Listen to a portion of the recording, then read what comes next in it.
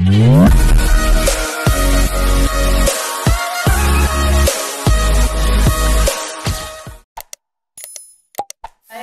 सभी student Faraday law of electrolysis पर आधारित ये प्रॉब्लम बनाने जा रहे हैं, जो काफ़ी इंपॉर्टेंट है और ये सेकंड लॉ ऑफ़ इलेक्ट्रोलाइसिस पर बेस्ड है।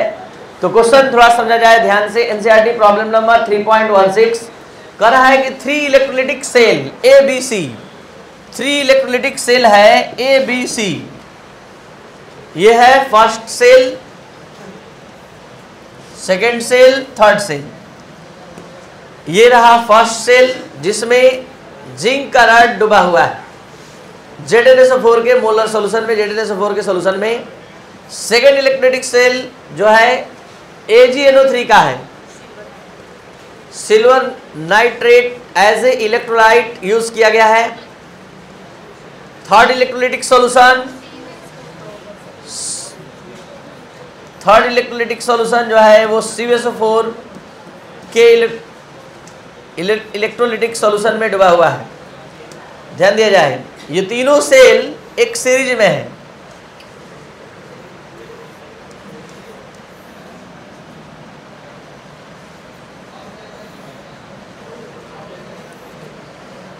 अब पढ़ते हैं क्वेश्चन, देखिए।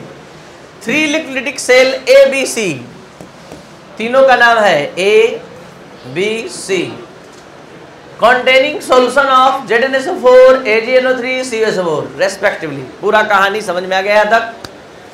At connected in a series एक सीरीज़ में अरेंज किया गया है।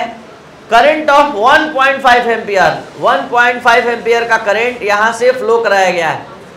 Was passed through them until 1.45 gram तब तक ये 1.5 एम्पियर का करंट फ्लो कराया गया है। जब तक कि इस सिल्वर वाले इलेक्ट्रोड पर 1.45 ग्राम डिपॉजिट ना हो जाए, उसके बाद स्टॉप कर दिया गया। तो कह रहा है क्या how long did the current flow तो बताइए, कितने टाइम तक करंट का फ्लो हुआ? और फिर आगे कह रहा है what mass of copper and zinc were deposited जैसे यहाँ सिल्वर का इतना ग्राम डिपॉजिट हुआ तो ये भी बताइए कि इस जिंक वाले इलेक्ट्रोड पर कितना ग्राम डिपॉजिट हुआ? ये भी बताइए कि इस इस जिंक वाले इलेक्ट्रोड पर कितना ग्राम डिपॉजिट हुआ? और ये भी बताइए कि इस कॉपर वाले पर कितना डिपॉजिट हुआ? तो तीन चीज़ चाहिए टाइम डब्ल्यू जेड एन और डब्ल्यू सी थ्री राउंड में कैलकुलेशन होगा। पहला पहला राउंड स्टार्ट होने जा रहा है। तो हमारा पूरा ध्यान केवल टाइम के कैलकुलेशन पर होगा। और टाइम का कैलकुलेशन जब निकलेगा तो सेकंड सेल पर अपना ध्यान बनाना होगा। और सेकेंड इलेक्ट्रोलिटिक सेल किसका है? सिल्वर और एजीएनओ थ्री इलेक्ट्रोलिटिक सोल्यूशन का। तो स्टार्ट करने जा रहे हैं। सबसे पहले बता दीजिए एजीएनओ थ्री के बारे में जितना नॉलेज आप लोग के पास है। एजीएनओ थ्री के बारे में बताया जाए, ये सिल्वर एजीएनओ थ्री कैसे टूटता है, कैसे डिसोसिएट होता है? AG plus N O three minus तो ये एजी प्लस कैथोड पर जाकर डिपॉजिट होगा एजी के फॉर्म में और ये वन मोल इलेक्ट्रॉन खर्च कराएगा। तो वन मोल को डिपॉजिट करने के लिए वन मोल करंट का यानी इलेक्ट्रॉन का खर्च करना होगा, तब वन मोल प्राप्त होगा। वन मोल मतलब और वन मोल यहाँ आप सभी स्टूडेंट निश्चित तौर पर इस क्वेश्चन में सबका एटॉमिक वेट लिख लेंगे। जैसे यहाँ पर दिया है जिंक का एटॉमिक वेट बताया जाए थ्री। और कॉपर का सिक्सटी थ्री पॉइंट फाइव और सिल्वर का 108 डायरेक्ट ले लेंगे। ठीक है? ज़्यादा अच्छा रहेगा 107.9 से। तो चलिए 108 हमने ले लिया। तो बताइए वन फेराडे कितने की इक्वल अब इस पूरे कहानी को जरा समझिए। इतना कुलम खर्च कीजिएगा तो इतना ग्राम जाकर डिपॉजिट होगा। जबकि हमारे पास कितना कुलम है? मतलब कि इतना कुलम कर जस्ट अपोजिट बोलिए बल्कि। 108 ग्राम को अचीव करने के लिए कितना coulomb?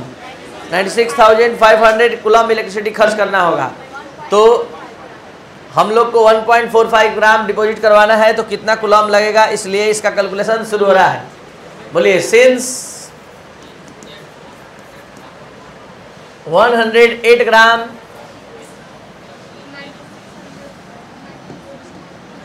of silver is deposited by is deposited by? 96,500 coulomb of electricity.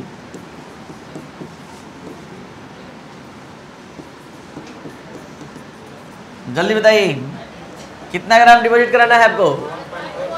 There four one point full calculation जरा बताएँगे आप सभी स्टूडेंट कितना आ रहा है final? 108 into one point four five कितना कुलम 1200 1200 95 की 98 पॉइंट? Zero five. है twelve hundred ninety five point four three coulomb right answer है। और अब Q बोर्ड पर ध्यान दीजिए, ये Q का वैल्यू हो गया। तो Q इक्वल क्या होता है? टी आपको क्या चाहिए? T how long time Q by I Q का वैल्यू फोर अपॉन आई बोलिए आंसर टाइम का। कितना रहे? डिवाइड किया जाए? कितना? Eight six three point four. क्या? सेकेंड। तो ये हो गया टाइम का। अब इससे आगे थोड़ा ध्यान से सभी स्टूडेंट समझेंगे। आप सेकेंड लॉ ऑफ़ इलेक्ट्राइसिस पर क्वेश्चन बनाने जा रहे हैं। इस तीनों को ध्यान में रखते हुए सेकेंड लॉ ऑफ़ इलेक्ट्राइसिस के आधार पर जल्दी से फॉर्मूला बोला जाए। क्या बनेगा फॉर्मूला आप लोग जा, जानते हैं W one by E one तो डब्ल्यू वन के जगह पर यहाँ पर ये फ़र्स्ट इलेक्ट्रेटिक सोल्यूशन के लिए बोला जाए W Z N by E Z N equal W A G by E A G और W C U by E C ध्यान दिया जाए। पहला पेयर हम इसका लेंगे। और सॉल्व करेंगे तो हमें डब्ल्यू जेड मिल जाएगा। कोई भी प्रोजेक्ट पर काम करने से पहले पूरा अच्छे से देख लिया जाता है कि आगे हमको कैलकुलेशन या कोई भी काम कैसे करना है। तो आगे हम लोग को डब्ल्यू जेड और डब्ल्यू सी यू निकालना है तो पहला हम ये दोनों पेयर लेकर कैलकुलेशन करेंगे डब्ल्यू जेड निकल जाएगा। और दूसरी बार दूसरी बार हम लोग इसका पेयर लेंगे। W A G by E A G का W C U E C U के साथ। तो दो बार हम लोग कैलकुलेशन करेंगे, तब जाकर आंसर आएगा। पहले स्टार्ट हो रहा है डब्ल्यू जेड एन के लिए। तो डब्ल्यू जेड एन निकालना है। ई जेड एन कैसे निकलेगा? Z N S O four dissociate होता है। Z N plus plus equivalent weight निकालने के लिए सिखा रहे हैं। मोलिकुलर सॉरी एटॉमिक मास में डिवाइड होगा कितना से? टू से। कैसे जाने? यहाँ से। एटॉमिक मास बताइए जल्दी से। 65.3 अपॉन इसको इसी तरह रहने दीजिए। अब आइए सिल्वर के बारे में बताइए। सिल्वर 108 अपॉन वन कैसे आया? ए थ्री को तोड़ने पर पता चला। किसकी वैलेंसी वन होगी? और अब इसका वेट बता दीजिए। गिवन वेट दिया हुआ है। 1.45 इस पूरे वैल्यू को लेकर हम पुटअप करने जा रहे हैं। W Z N by E Z N W A G by E A G एक जैसे ही हम पेयर सॉल्व करेंगे, आप सभी स्टूडेंट बनाने के लायक हो जाएँगे। जल्दी बोलिए। W Z N E Z N कितना? 65.3 by two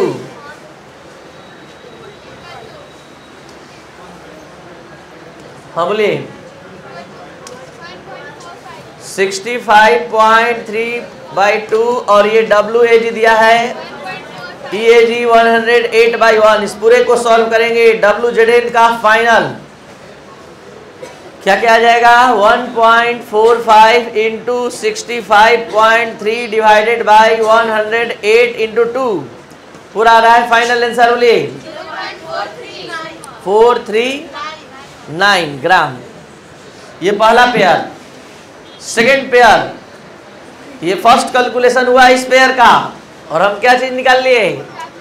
W Z N अब सेकेंड पेयर आप लोग बोलेंगे और हम लिखेंगे. स्टार्ट बोलिए pair W A G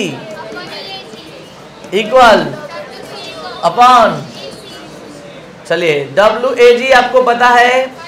1.45 E A G 108 upon one W C U निकालना है.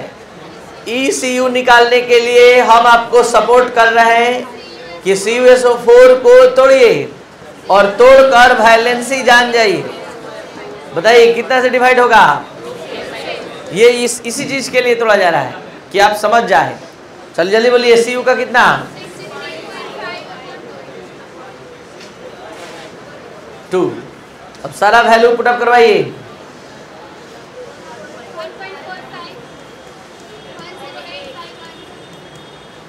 बोलिए। डब्ल्यू सी यू जैसे है जो कहते हो।